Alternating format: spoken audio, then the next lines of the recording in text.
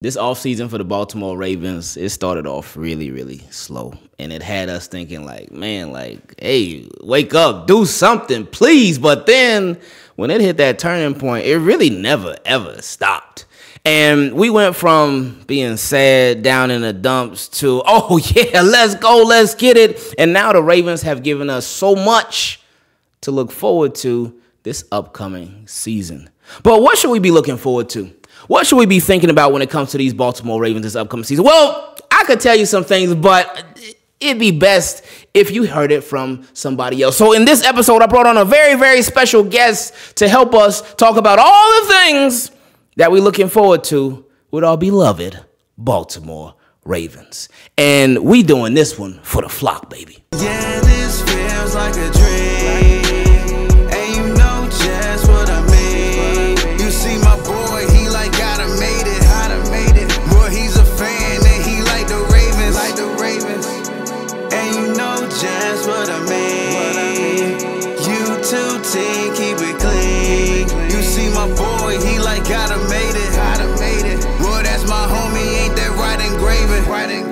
All right, so team, keep it clean. Very, very special guest in the building.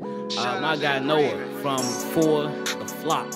Uh, first, before we get into things, introduce everybody to yourself. Let them know who you are and exactly what it is that you do. Yeah, so uh, as Ingraven said, the, the OG Ravens legend YouTuber, man.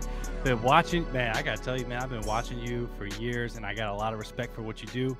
Uh, and I appreciate you having me on the channel. It's a huge honor. Uh, my name's Noah. Uh, have a channel called For the Flock. Try to do daily content um, as much as I can, all things Baltimore Ravens. And uh, I just love football, love the Baltimore Ravens, and uh, love talking ball. And what, what made you get started with a channel? So uh, I actually, years ago, probably six, seven years ago when mm-hmm. I joined the Marine Corps, I started like a military channel, um, doing like videos for how to, you know, get through boot camp, what boot camp is like, and stuff like that. Mm-hmm. Um, and uh, just always wanted to start a YouTube channel. And then um, years later, I transitioned the channel to a Ravens channel. I was like super passionate about the Ravens, mm-hmm. love talking about football. Um, so I just started, just started going with it. Um, was really bad at it at first, man. The videos were terrible, and then I just, you know, slowly started to pick up some traction, and here we are.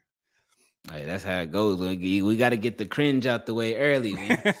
now, now, me, I still, I still got a lot of cringe that I put in there now, but it's all good. I don't even care no more. Yeah, well, I, I just accepted like, I don't care what people think anymore, man. I yeah, was just gonna, yeah.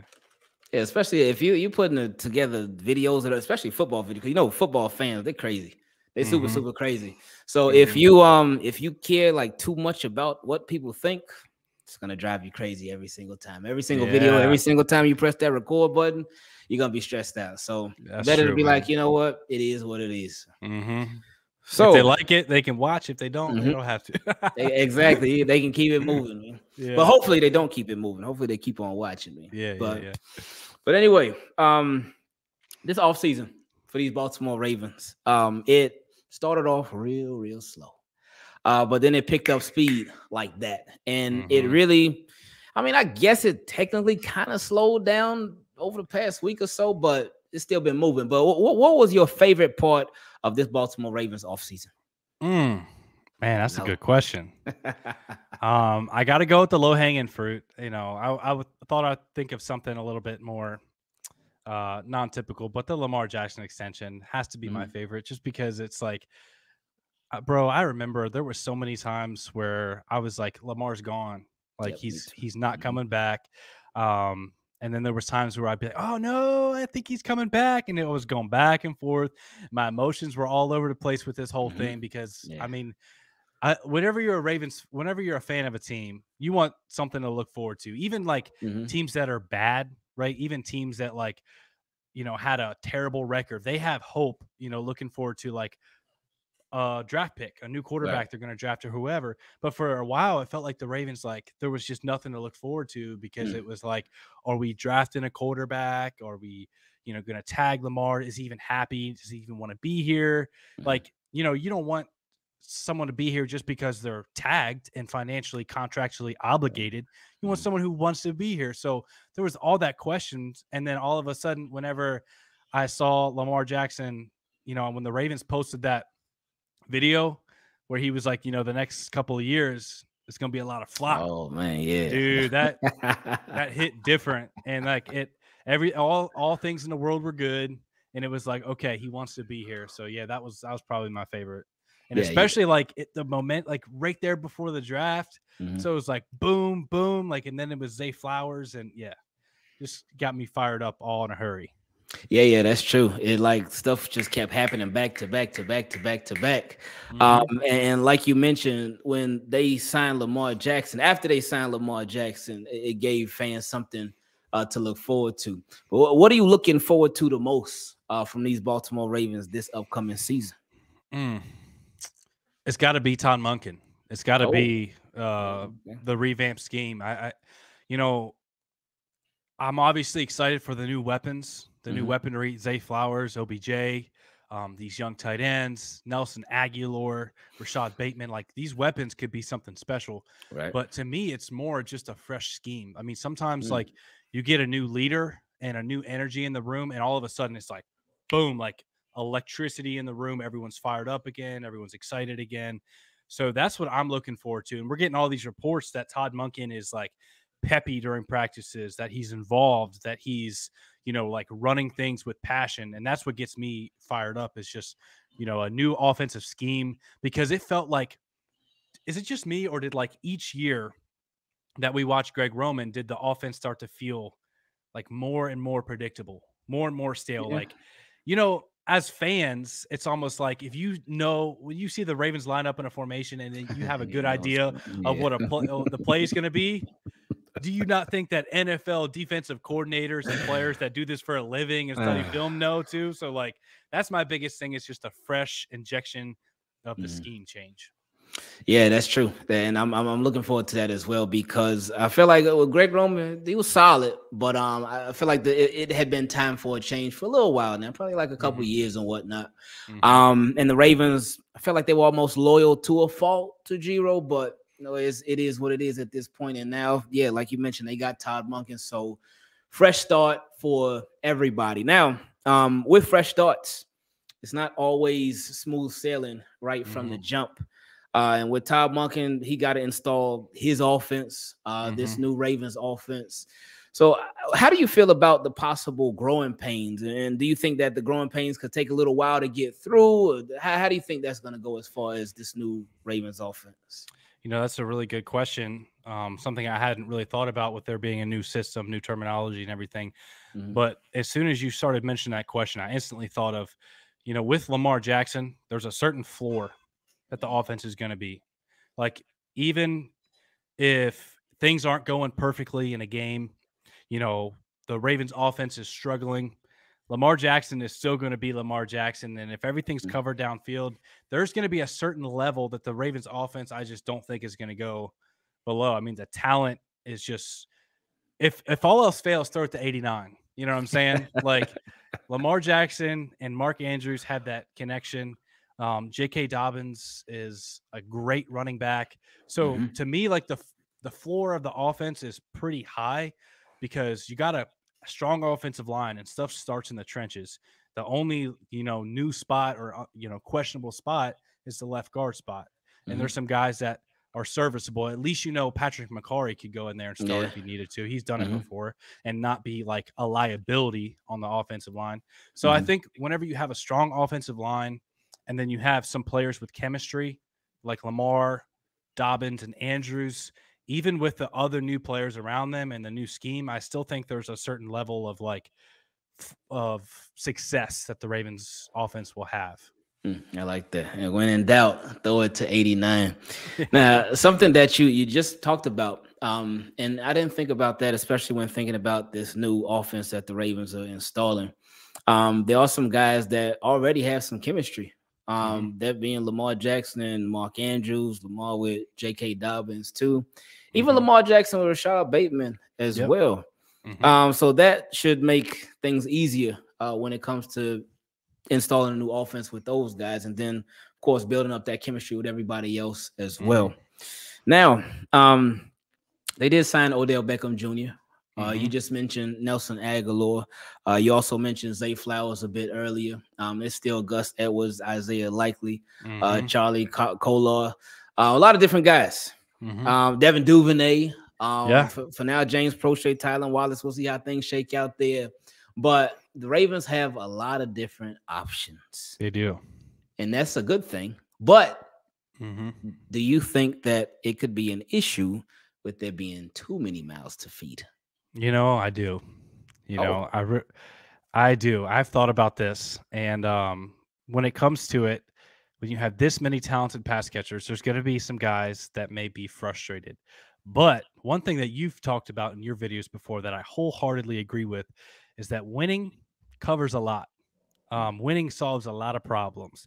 So I believe if the Ravens are winning a lot of ball games and maybe guys aren't getting the targets that they feel that they should get, rightfully mm-hmm. so. You know, if there's a game where Zay Flowers has five catches, Rashod Bateman has six, and Mark Andrews has nine, and then you have OBJ with like one or two, um, that wouldn't surprise me if I saw a game like that, right? Because of the the talent that you have. You know, there's only one ball, like Todd Monken made sure he clarified mm-hmm. when it comes to getting the ball to these weapons. But um, I think if the Ravens are winning, um, it's gonna create uh, a lot of band aids on those maybe hurt feelings when it comes to a lack of a target share or whatever. Yeah, that's a good point. Uh, when yeah, winning does cover up a lot. There's still some emotions involved on the side, but if you win, and people mm-hmm. be like, ah, oh, you know what? Yeah. I get over it. I do want to contribute, but I, right. I, get over it. Now, uh, flipping to the defensive side of the ball, how you feeling about that Ravens secondary post draft? Obviously, Marlon Humphrey's still there. Um, and then they signed Rock Ya-Sin, uh, mm-hmm. but they they drafted uh Kyu. Uh, mm-hmm. but ha- and they still got some guys returning like um Pepe Williams, uh, Jalyn Armour Davis, uh, Kevon Seymour, uh, mm-hmm. uh, Daryl Worley. Um, I feel like I'm for maybe Darius Washington, Brandon Stephens. Mm-hmm. How you feeling about this secondary as a whole? I love safeties, this, everything. I love this secondary under one condition. Mm-hmm. That's uh Marlon Humphrey's health. If Ooh. Marlon Humphrey is healthy, mm-hmm. I feel great about the entire secondary. You know, at the cornerback two spot opposite of Marlon Humphrey, you know, you got Rock Ya-Sin, who's the perceived starter, but right. you know, I wouldn't sleep on Jalyn Armour Davis yet. He's really talented. He's got oh. all the tools. He's a Bama guy. Um, he just had some mental lapses and struggles early on in the season last year and some, some mm-hmm. injuries. But I mean, Jalyn between Jalyn Armour Davis, Kyu Blue Kelly, uh, Rock Ya-Sin, uh, even Trayvon Mullen, Lamar's cousin, oh, some of the Brant Stephens. like the Ravens are going to be like they have enough talent in the room. Um, the only thing that concerns me is if Marlon were to go down, that's like Marlon's the guy that you can trust to erase or at least limit top wide receivers. Mm-hmm. We know we we play in the division that has Ja'Marr Chase and Tee Higgins. So my my thing is is like if you can put Marlon on Chase and say, bro, just don't give up five touchdowns. Like just keep him in check. You know what I'm saying? Like just do your thing, mm-hmm. keep him in check. You know, he'll have his catches here and there, but keep him in check. And then you can put safety help over the other guys that maybe, you know, you could put Rock Ya-Sin, who's a real physical guy, on a bigger receiver like Tee Higgins, and then put some safety help over the top. And then speaking of these safeties, man, I maybe I'm being a homer here. Maybe I got the purple shades on, but I believe the Ravens have the best um, duo of safeties and linebackers in the NFL. Oh, and, and oh, oh man, I, th- I, thought you were just gonna say like AFC North or no, maybe AFC, but in it, oh, no, I, I I cannot find. I've looked on all the safety duos. There's some close ones. Um, Kyle Hamilton was one of the top graded safeties last year, um, and he's going into year two. Marcus Williams had the most interceptions in the hmm. NFL before he went down with the injury, that wrist injury, and uh, whenever they were playing Cincinnati. Mm-hmm. And um, you got really good depth behind them too. Ar'Darius Washington, Geno Stone, Brandon Stephens, and then the Ravens linebackers, man. Like I'm looking around, and I know you know the Bengals have a pretty nice duo there with Germaine Pratt and Logan Wilson, right. and there's some other teams that have good duos, but like Queen and Roquan's a nasty duo. So I'm feeling great about the secondary and the defense as a whole. Now, before we uh talk about these linebackers, I want to stick mm-hmm. with the safeties for a quick second. Were mm-hmm. you able to hear Chuck Clark's comments? I saw a glimpse of it on Twitter earlier. Yeah. Something about he mm-hmm. felt disrespected right. by some of the comments that were made. Um, yeah, he I said he, know. He said he felt disrespected by the Ravens. Um, uh-huh. and he said part part of it was when they drafted Kyle Hamilton. Uh, but he said mm-hmm. it also had to do with like money and, and contracts and stuff like that. And he said uh, he felt disrespected from the position that they put him in uh, mm-hmm. versus what he was told. So, right. real quick, do you feel like Chuck Clark was put in a sort of tricky position last year with at the um, at safety? Yeah, I do. I mean, that's a tough spot to be in because he recently was signed to the extension, had two years left on his contract, mm-hmm. and the Ravens were just in a spot where they couldn't simply turn down Kyle Hamilton. In the, I don't mm. think they went into the draft thinking we're going to take Hamilton or a safety for that matter early. But mm-hmm. when they mm-hmm. saw Kyle Hamilton, who was a top five, top ten prospect, fall to them at 14, mm-hmm. they were like, "I'm sorry, Chuck. Like I cannot let this type of talent go." But that's the NFL, man. I mean, this happens year after year. Yeah. A young influx of talent comes in. Mm-hmm. And but I will say Chuck handled it so well, so professionally. Right. He mm-hmm. was like, I am not gonna let this kid take my job. And he didn't. I mean, he he showed up to every single voluntary offseason workout, mm-hmm. all the OTAs, and he could have kept away and been frustrated or whatever. He's like, I'm just not letting this kid take my job. And you know, week one rolled around and Chuck Clark was a starting strong safety. Yeah. And Kyle Hamilton didn't start until later in the year. And that wasn't even in Chuck's role. That was more right. of a nickel guy. So mm-hmm. Chuck handled it really well. Mm. But, you know, it, it's the NFL. You, players come in and you got to compete. You got to, you know, keep your relevance.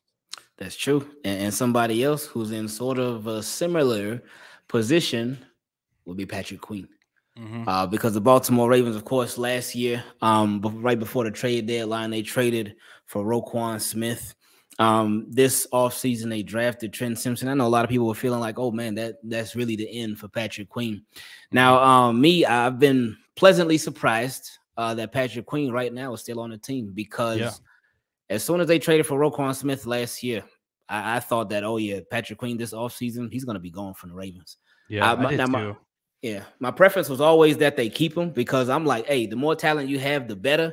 But I just I didn't see it happening with them keeping him. But for him mm-hmm. to, to be there, it's been great. And um, you mentioned with Chuck Clark with how he handled uh, everything that go that went on, and, and he requested to be traded last year, mm-hmm. but it obviously didn't happen. He stuck around, you didn't hear anything from him. You didn't he didn't make a public scene or anything like that, which showed a lot of maturity on his mm-hmm. part. Um, but yeah, somebody else who's going through a lot of the same is Patrick Queen.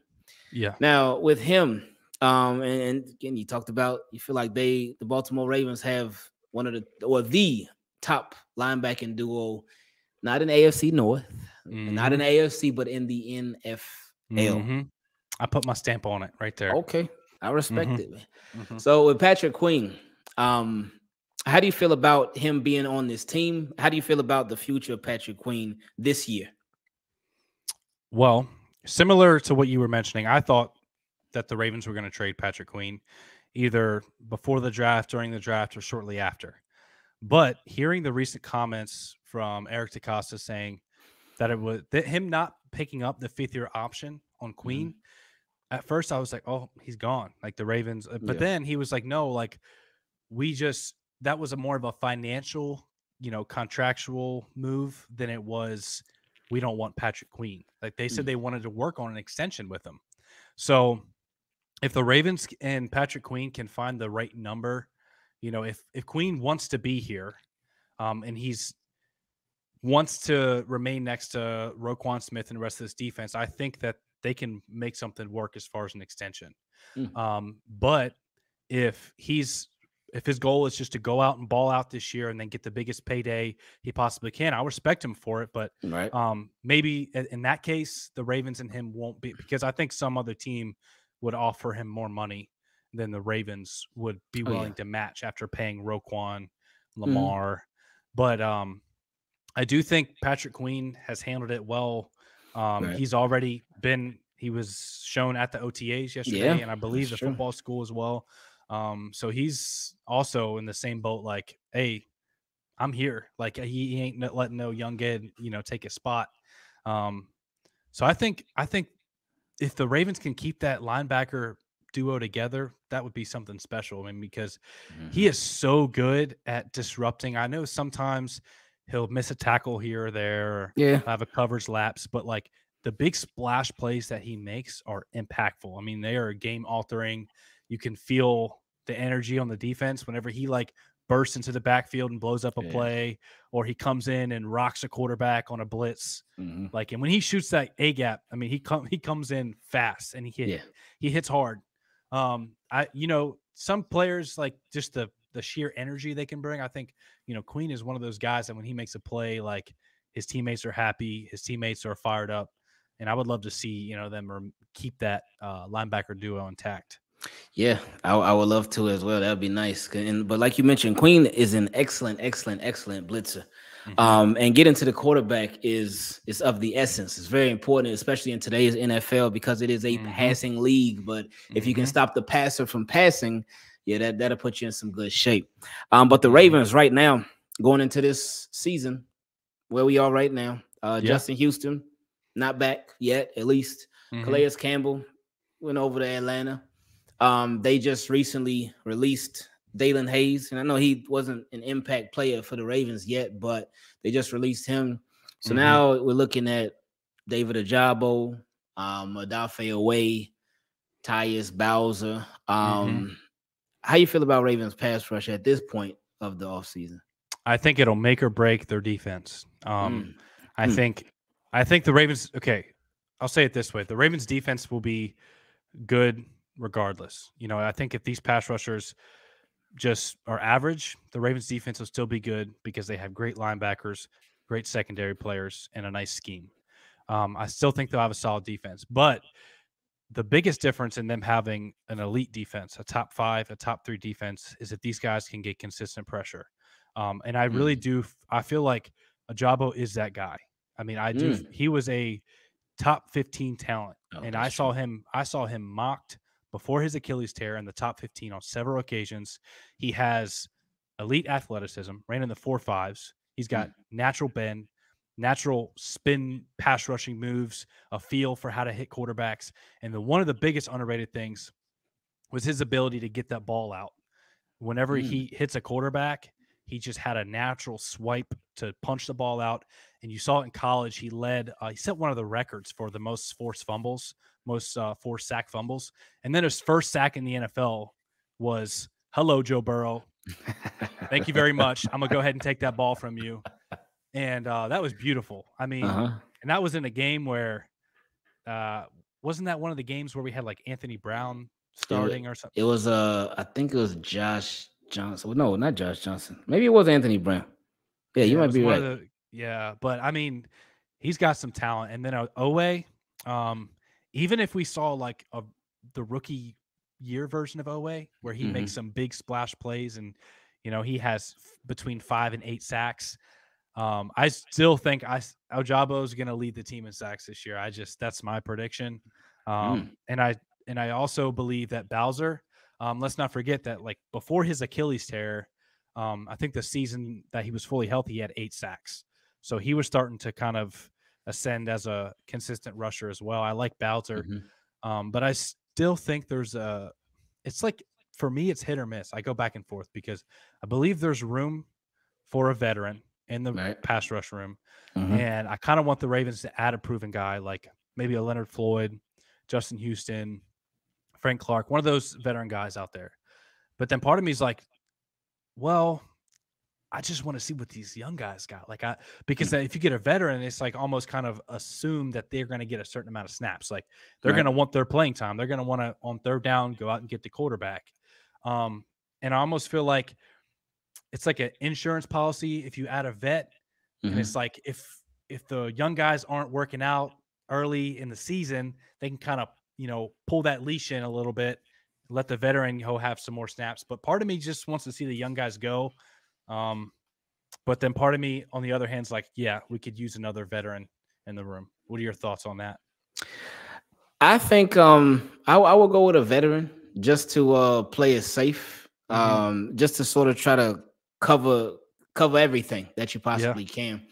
Um, better to sort of be safe than sorry. And, and, it's like one of those things where okay, well, if you get a veteran, um, worst case scenario, which would actually be a good case scenario, uh, is if the young guys they out there doing their thing, and it's like, oh, mm-hmm. oh man, we don't even need this veteran. Okay, great. Well, you got somebody that you whether you could put them on a sign them to the practice squad or you just release them straight up or whatever. That's you just true. got somebody who's you got somebody in the reserves and whatnot. So right, that's that's what I would hope for. Um, because yeah. with Odafe Oweh, um, it's been it's been tricky with Odafe mm-hmm. Oweh, and it's like it's I know us as fans we can feel frustrated for him mm-hmm. um, because we see him get so close so many times. Yeah. Uh, and, and, he mentioned it in a presser about a week ago um, mm-hmm. um, about just how he's he's been getting close, but just hasn't been able to finish yet. So it's there. It's, it's, it's right there. It's just a matter of him just making that jump. So hopefully, mm-hmm. with his boy uh, Ojabo opposite him,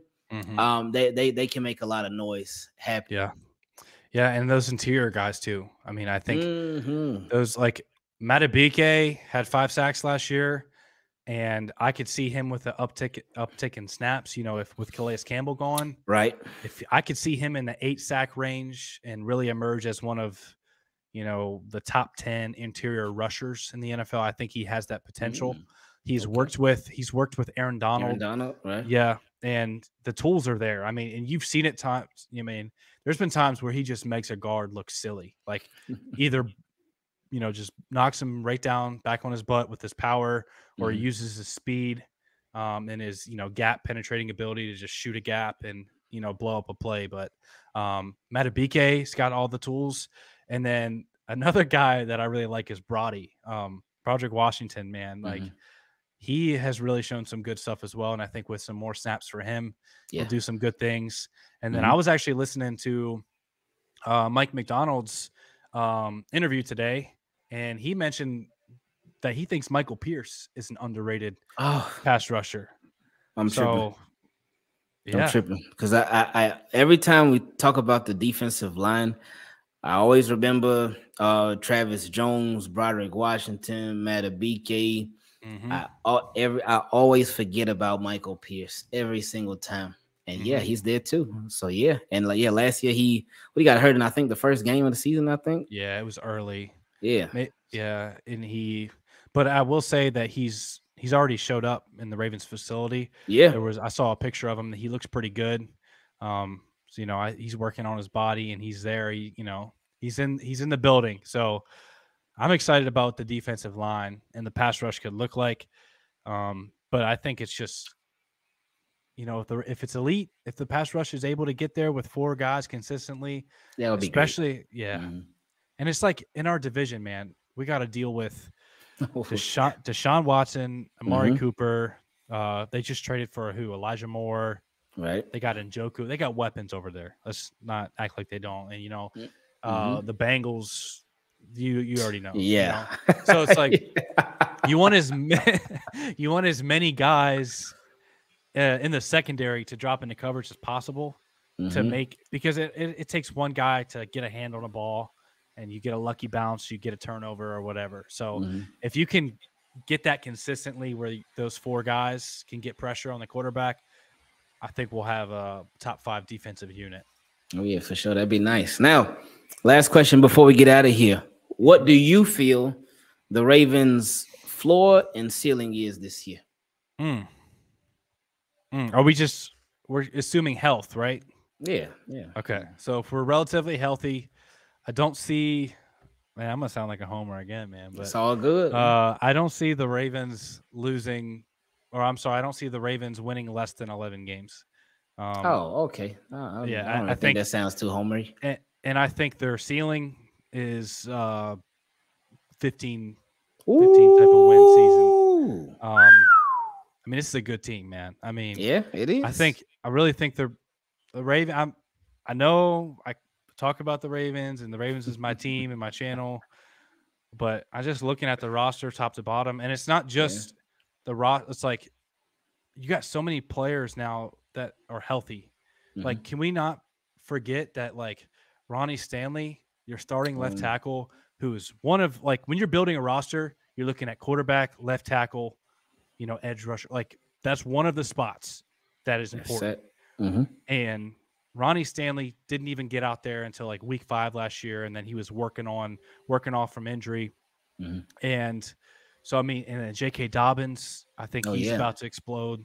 Um, Bowser healthy, like a lot of guys that were coming and recovering off major injuries, you know, and a new exciting scheme that's gonna, I think, gonna catch some teams off guard, especially earlier in the year. Mm-hmm. Um, you know, because we have not really seen a Lamar Jackson offense without Greg Roman. Like we saw a oh, couple couple true. games Lamar's rookie year with uh who was it? Uh Mornhinweg, uh, right? Yeah, Marty Mornhinweg, yeah. Yeah. We saw a couple games of it and then we got Greg Roman for years. So we don't we really don't know what it's going to look like and I think it's going to mm. catch a lot of teams off guard. That's a really really good point. Didn't think about that. It's true. Yeah, we never seen Lamar without G-Ro, really. Mm-hmm. So yeah, that that that makes me that much more excited uh, for this upcoming season, just to think about that alone. But Noah, appreciate you very, very, mm-hmm. very, very much uh, for coming on, and especially again coming through on such uh, short notice too. Yeah, um, my honor. For for one more time for everybody, let them know where they can find you at. I'll have everything down below in the description too, just to make it easier. But let everybody know where they can find you at before we get out of here.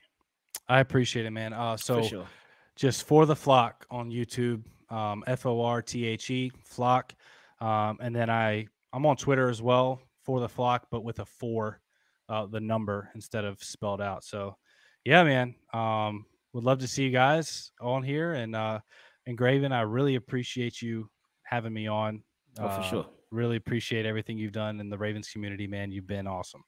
No, it's all good, man. I, appreciate you coming on, man. And again, for those that just to give y'all a backstory, I asked mm-hmm. him today to come on, and he mm-hmm. he was able to come on today.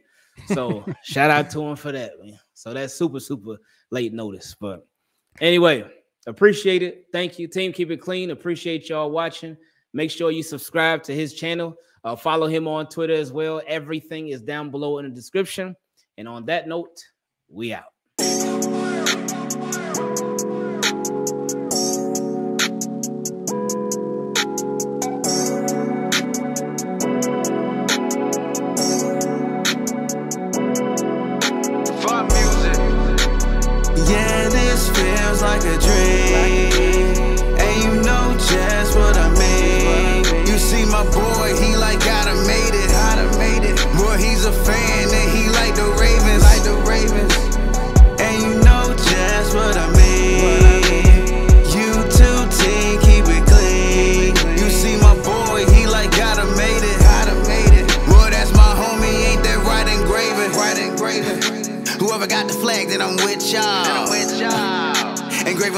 we playing football. Okay. I'm a fanatic. Uh-huh. You see, we got the magic. And yeah, my boys are savage and open challenge and Madden. Let's go. Make him rage quit, exit out the door. Exit out the door. Yeah. Use his favorite team with a Baltimore. Huh? Uh-huh. Don't get mad. Uh-huh. It's just what it is. What it is. yeah, we talking sports, shot out the IngravenVids.